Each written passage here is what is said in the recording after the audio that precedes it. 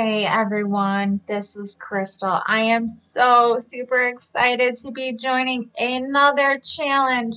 This challenge is the Halloween challenge and it is hosted by Lubbly Jubbly Furniture. Meg is an amazing furniture artist and she is hosting this challenge so all of us YouTube creators can come together and make something spooky and scary, and I am super excited. I found this little dresser on Facebook Marketplace and I got it for $20. It's pretty beat up and banged up, it, but it certainly doesn't matter for the look I'm going for. Now, I am going to be doing something super different than what I normally do to kind of fit in with the theme of the challenge. So I want you guys to figure out if you can guess what I am doing. And it might there might be a certain point where you just know what I am going for and the theme I am looking for. But if you do, let me know down in the comments when you figure it out what my theme is for this piece. I did all of my usual prep work off camera because I didn't want to bore you guys with it, you know, the sanding and the cleaning and all of that. And I started out with my base color, which was called Caribbean Coral or Caribbean Coral.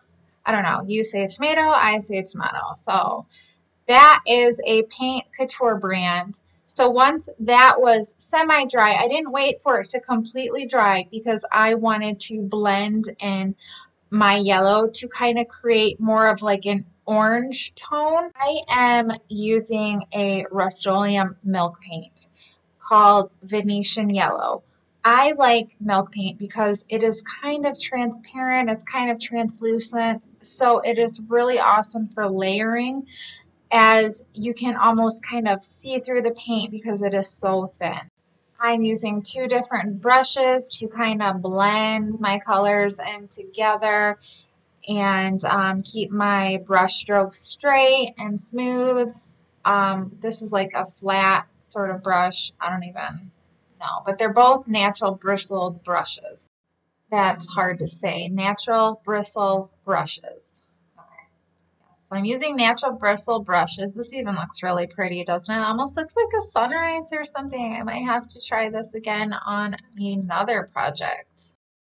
So my plan totally worked, putting the yellow over top of the Caribbean coral to get that orange color. So I was super happy about that.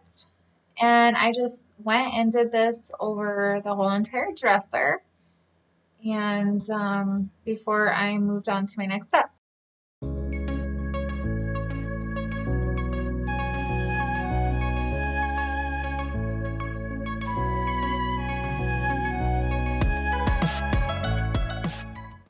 I wanted to like grunge it up and dirty it up.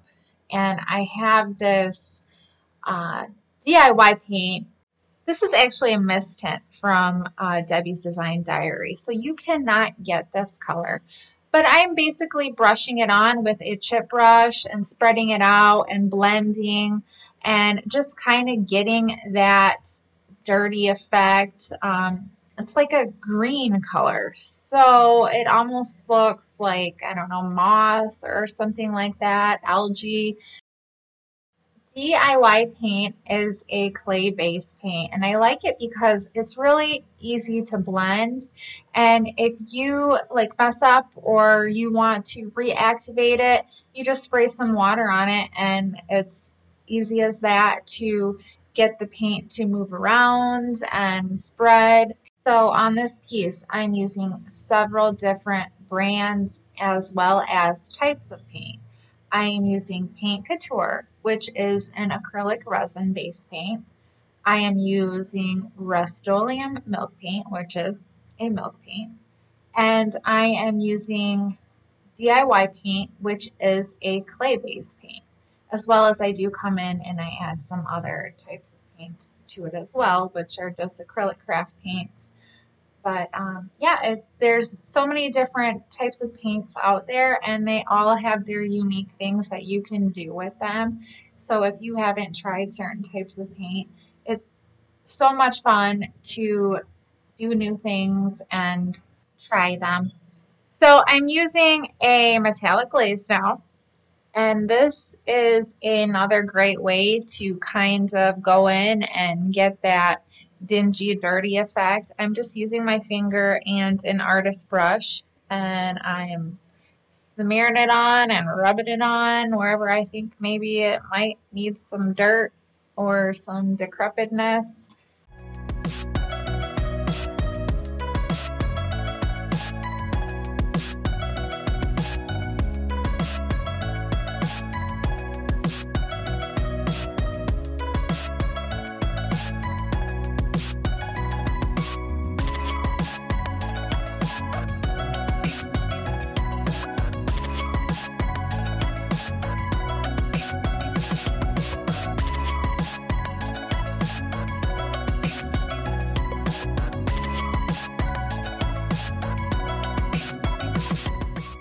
So here is where all the scariness starts to come in. I am using just some regular acrylic craft paint and I am going to make it look like blood is dripping down the side of the dresser. I squeezed some of it out on some cardboard and I'm taking an artist brush and I loaded that baby up like really thick and I'm using water. I'm taking my paintbrush, dipping it in the water, and then tapping it at the top of the dresser. The water mixes with the paint, makes the paint thinner, and causes the drips, similar to, um, yeah, like dripping blood. I left some of my red paint at the top, like really super thick and chunky, like coagulated blood or something like that. What I also did, and I didn't realize, I didn't record myself doing it, but I wanted a bloody handprint on the side of the dresser. So I just took my red acrylic paint, and once all my drip marks were dry, I painted my hands, and then I took my hand and I just slapped it on the side of the dresser and I kind of pulled downward so it looked like the handprint was bloody and it was like dragged across the side of the wall. So I didn't realize I didn't record myself doing that. So I just wanted to take a second to explain how I did that. So here's where some of you might be able to guess my theme I chose for this dresser.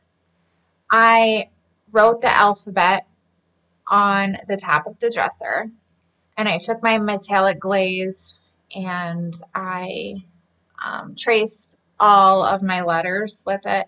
It was really thick. This took like several days for my my glaze to dry completely because I did it so thick. And then I made like a string of lights below all of the letters. I used my Posca pen in a black and I outlined that and then I wanted to make like um, different multicolored lights underneath of the letters. So I drew all of those out and then I just painted them in acrylic paints and other various paints and, you know, colors that would be on a string of multicolored lights. I took my red acrylic paint and then I just kind of dry brushed and blended on the dresser drawers, mainly focusing on the edges of them. All right, you guys, did you figure it out yet? I bet you did. So I am doing a transfer method that I have never tried before. Um, I did a test canvas and this is basically where you print out an image on your inkjet printer or whatever printer you have, and then you use a medium like Mod Podge, but I'm using a matte transparent medium type stuff that I had on hand. I'm taking it and I'm putting that on really super thick. And then I'm going to take that image that I printed out. I'm going to apply it on my medium And then once everything is dry, it usually takes 24 hours before you can do this. You spray it down with some water, and that ink is supposed to just stick to that Mod Podge or whatever medium that you put on there. And I was really excited to try this because I have never done this before and I've always wanted to try and I love trying new things. So I went ahead and did it on this piece.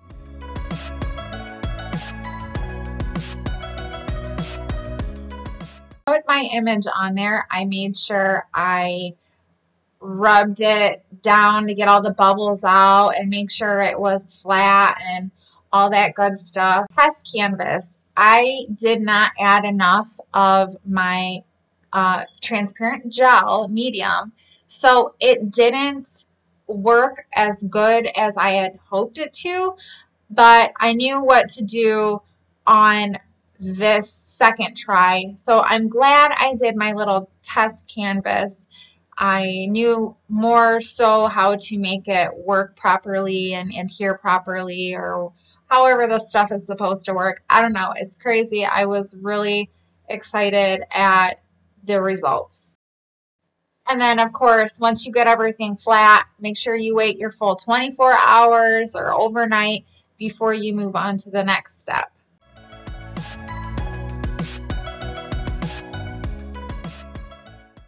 So the next day with my mister bottle and my washcloth in hand to protect my DIY paint from getting reactivated. I sprayed my image and then I wiped up any wet drip marks and I took my finger and I just rubbed off all of the paper and lo and behold there it was my little image was transferred into that medium that I had put on there.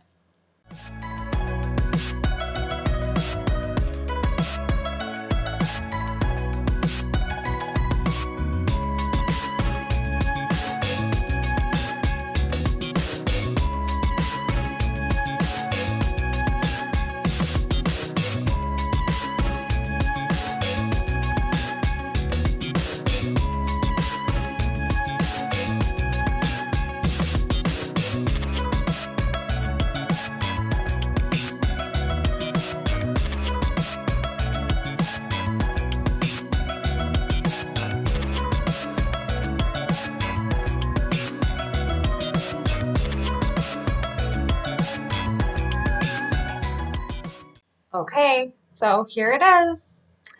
I'm sure you guys have guessed it by now, but if you have not guessed it yet, here is my theme for my Halloween challenge dresser. It is the Netflix TV series Stranger Things. I ordered this poster off of Amazon and I have never decoupaged a poster before. I have decoupaged many things, but I have never worked with this type of paper, which is a poster paper. It's super thick and um, yeah, so this was something extremely new for me. I went and I measured all of my drawers because I needed to cut my poster paper to fit onto all of my drawers.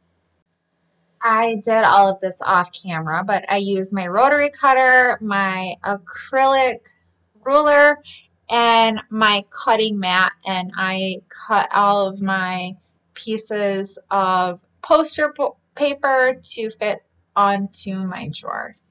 I'm using my clear transparent gel again as my medium to adhere my poster paper onto the dresser. And this is very similar to Mod Podge. So once I got done with my first drawer, I immediately realized a mistake that I had made. I did not put the gel on thick enough. So this was hard. I really, really struggled with this project. I have never done this before, like I had said, and I thought I did enough research, but this was really hard. This caused me a lot of trouble. I had assumed that I was going to put on my um, my clear transparent gel and it was just going to be movable and repositionable and I wasn't going to have a hard time doing all of that. But once it was on there, it was stuck on there and I had to peel off the poster paper to try and get the bubbles out and try to put on more of the um, media. Quite a bit of time trying to get out the bubbles and the wrinkles. Thankfully, I wasn't going for a perfect look. I kind of wanted a distressed, um, sort of, you know, imperfect look, anyways. So, thankfully, that was a whole part of my aesthetic for this dresser. But this was hard. This was seriously hard, harder than I thought it would be. By the time I got to the fourth drawer, I got a lot better at doing my technique. And um, I guess practicing on my first three drawers, I don't know. It was hard. It was a struggle. So if does anybody have any tips or tricks or pointers on how to apply poster paper onto furniture, I would really appreciate it. So um, for my drawer pulls, I got these off of Amazon. They are like some glass with red and bubbles and they look like blood and I took a 3M sanding sponge. I sanded the bottom part um, to just make it slightly abrasive and then I used a copper metallic acrylic paint and I painted the bottom. Debbie's DIY in uh, Big Top to seal everything. I just used a paintbrush and I brushed it all. And that's pretty much it, you guys. Thank you all so much for watching. I hope you enjoyed my spooky, scary Stranger Things dresser.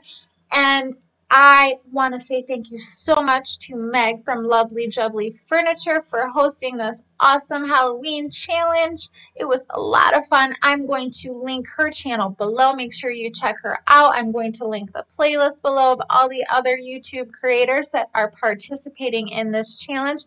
Check them out as well. There's some amazing talented artists that are going to be joining. Thank you guys so much again. Make sure you like and subscribe. Happy Halloween and have a great day. Bye.